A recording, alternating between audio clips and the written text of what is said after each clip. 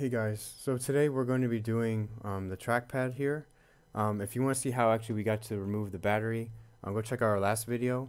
Um, I showed you pretty much an easier way to do that. Um, now this is kind of like a part two, so let's get into doing this, and this is the trackpad. So there's a lot of screws around here, and it actually has a plate, but let's get to the screws.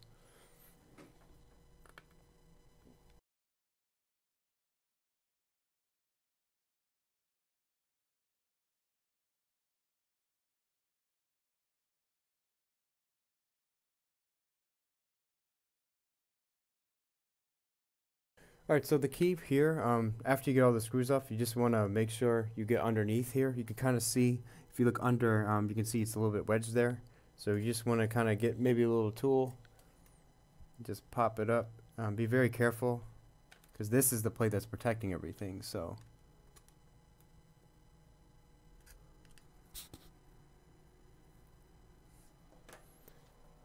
Okay, just ease your way around.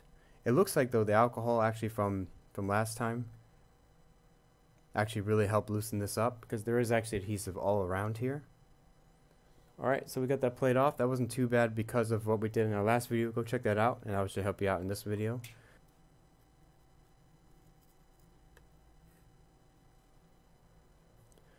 Okay, so just like that, it peels up.